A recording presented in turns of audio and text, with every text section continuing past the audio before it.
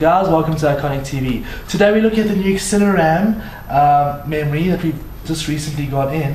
Um, let's just have a quick look at it. We come a bit closer.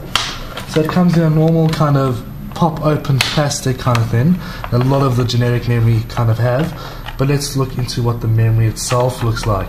It's the ERS 305A model, which is two 4 gig kits, uh, PC3 12800, which is um, DDR3 1600 megahertz, and it's running a really, really fast timing of 8, 10, 10, 24.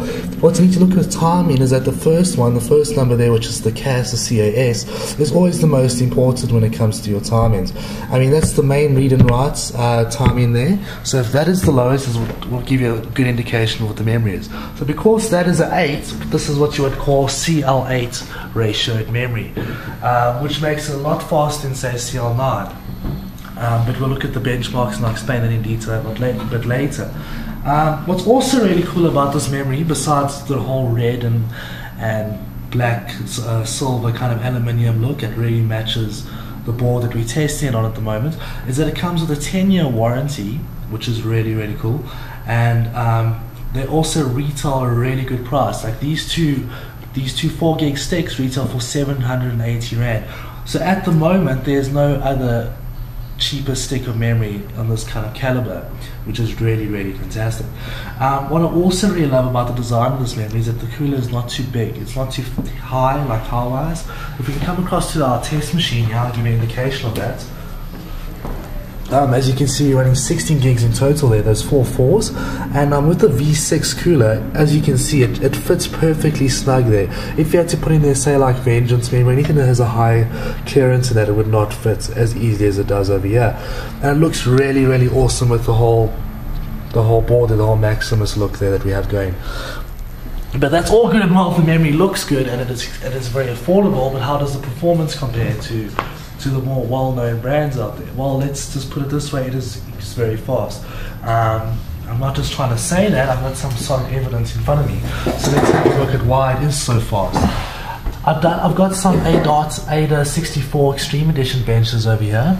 Um, I did some memory read, write, copy, and latency. The most impressive one so far was the latency. If you can just zoom in over there, it's got a latency of 43.6 nanoseconds. If and you must understand that I am running the memory at DDR3 1700 so I have overclocked it and the processor is running at 4 gigahertz but there's no point in running at 2600K or benching any kind of component unless you're running at really high speeds to give a good indication of its speed. Anyway so if we can have a look there it's got 43.6 nanoseconds one below that. It's a very old board. It's one of the the, the older Athlon 64X2s um, it got 47.5 and you're wondering how can an old old build like that get those that kind of results? Well, it's very easy. If we go to its timings over there, it's got 44411. Yes, it's DDR2 800 memory, but its timings were very, very fast. So it gives you, but what gives you indication over here is that today's DDR3 memory, even though the timings are pretty much more than double, because of the megahertz that runs and all that taken into account, it's a lot faster. Um, if we can go into another set, the copy and write and copy speeds, um, let's start at the copy.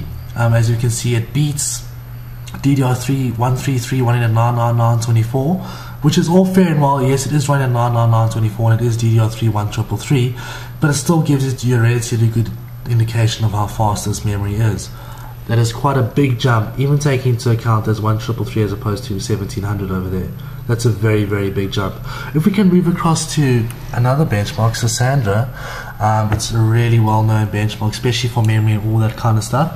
Um, I did all the benches, but the most impressive with this memory was its um, its cache and memory result, I was able to even get a record-breaking rank out of all the I got out of 359 records you have 125.68 gigabits per second um, memory cache which is really really impressive. If we had to compare it um, to the top ranks that the best fastest memory in the world gets 159 so you are just only slightly off that with your 125 and this is pretty much not very expensive memory, and it's not running at say 2,500 megahertz. So what you get here with XRAM is extremely fast 1600 megahertz memory. I was able to overclock it to 1,700 megahertz with ease. I mean, I could obviously push it higher to 2,000, but then I'd lose a bit of the timings. Um, But yes, like I was saying, it's CL8 memory, it's DDR3 1600, aka PC3 12800, and um, it really is fantastic memory. It retails for 780 Rand.